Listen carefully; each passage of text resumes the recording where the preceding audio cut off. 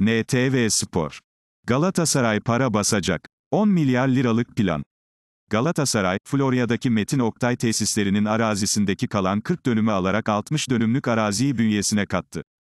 Sarı Kırmızılılar 10 milyar liralık gelir bekliyor.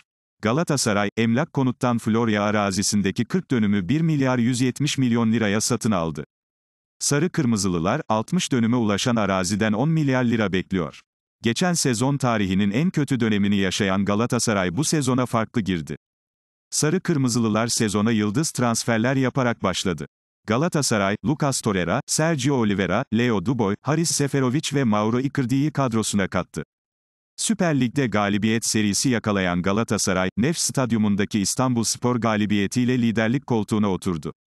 Ligin devre arasına lider giren Sarı Kırmızılılar, kış transfer döneminde Kaan Ayhan, Sam Adekube ve Nikolo Zanyolo gibi isimlerle kadrosunu güçlendirdi.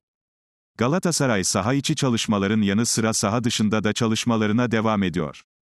Sarı Kırmızılılar, 1 milyar 171 milyon 800 bin TL'ye satın aldı. Hürriyet'in haberine göre Galatasaray Florya arazisinden elde edeceği gelirle hem borcunu kapatıp hem Kemerburgaz tesislerini tamamlamayı planlıyor. Galatasaray, Mecidiyeköy'deki GS Leo Residences'ın %70 iyi olan 134 dairenin satışından yaklaşık 1.2 milyar liralık gelir elde etmişti. Sarı Kırmızılılar, Florya'daki arsa için bu geliri teminat gösterdi.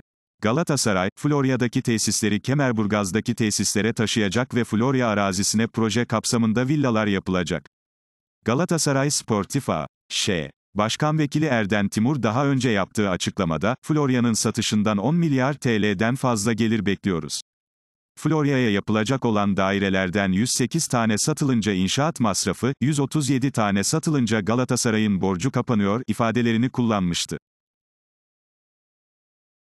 Anlık Galatasaray haberleri GS Haber ile telefonunuzda, Twitter ve Telegram'da.